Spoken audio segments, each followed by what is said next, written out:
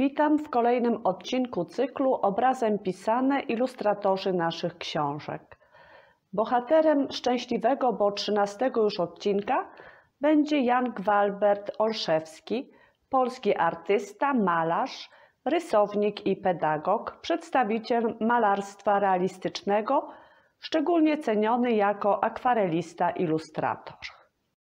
Urodził się 30 czerwca 1873 roku w Będzinie w rodzinie Michała i Marii Switanowskich.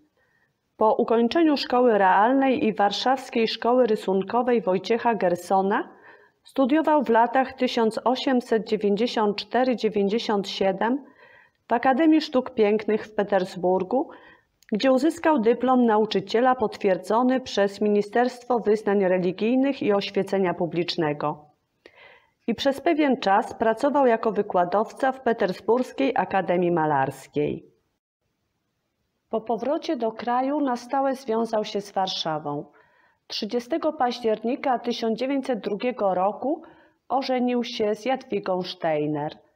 Od 1912 roku został członkiem Towarzystwa Zachęty Sztuk Pięknych. W latach 1918-36 był nauczycielem rysunku w gimnazjum imienia Stefana Batorego w Warszawie. Jego impresje malarskie zamieszczano na łamach Wędrowca, Biesiady Literackiej, tygodnika polskiego wydawanego w Warszawie w latach 1898-1905 oraz na łamach czasopisma Wisła. Zilustrował szkice historyczno-opisowe napisane przez swojego wuja Michała Rawity-Witanowskiego. Dawny powiat chęciński, Kłodawa i jej okolice pod względem historyczno-ludoznawczym –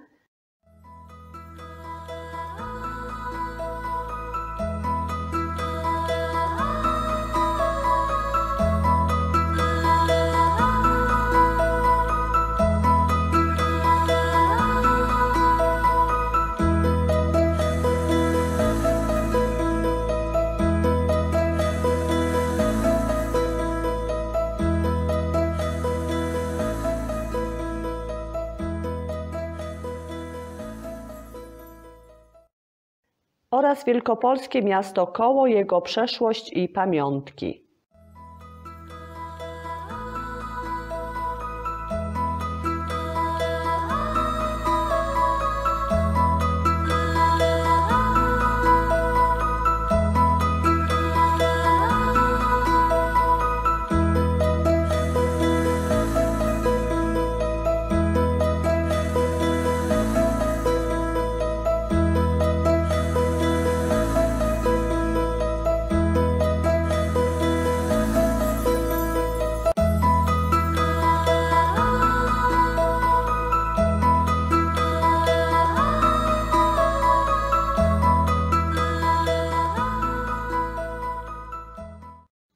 Plenerowe rysunki zabytków i pamiątek historycznych opublikował w albumach Brzegiem Wisły,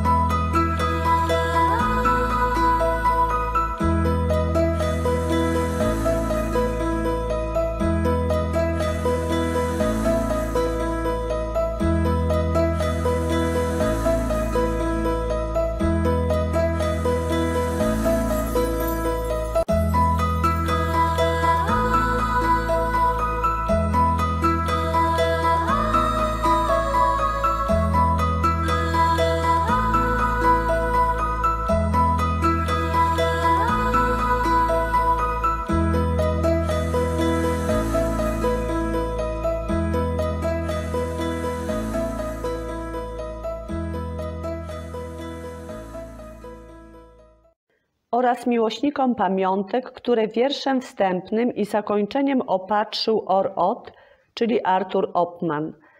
Ilustrowane tablice zawierają portrety wybitnych polskich osobistości oraz miejsc i miejscowości z nimi związanych.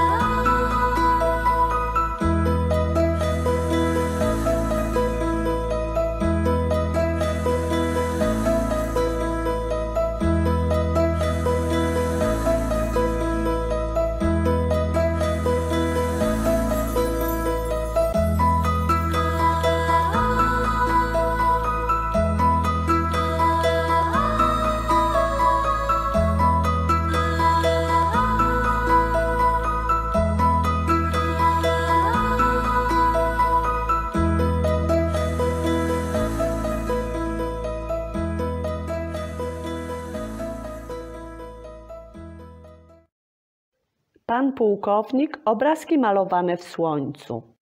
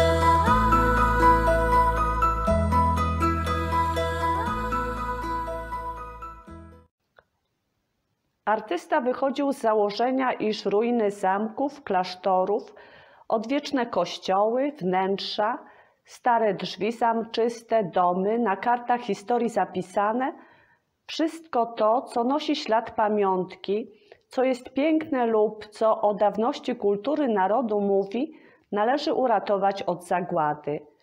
Jeżeli już nie faktyczną ochroną, to przynajmniej artystyczną reprodukcją, która pozwoli potomnym zachować te podobizny w pamięci, natomiast historykom sztuki może posłużyć jako materiał do badań.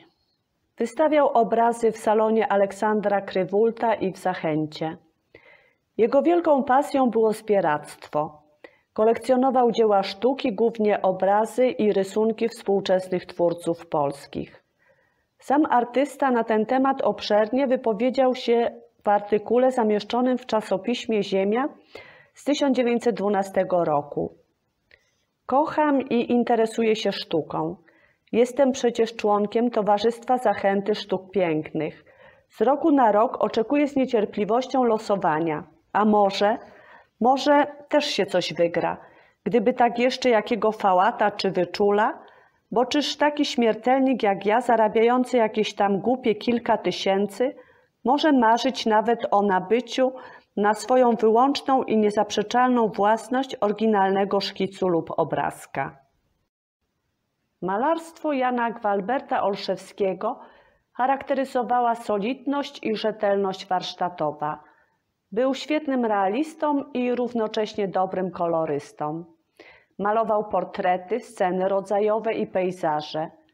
Podróżując po kraju, utrwalał w rysunku i akwareli zabytki architektury oraz pamiątki historyczne. Pisano o nim.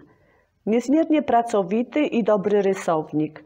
Odznacza się dużą wprawą i sumiennością w traktowaniu szczegółów architektonicznych odtwarzanych budowli, dając im zawsze jakiś artystyczny charakter przez układ i kompozycję rysunku.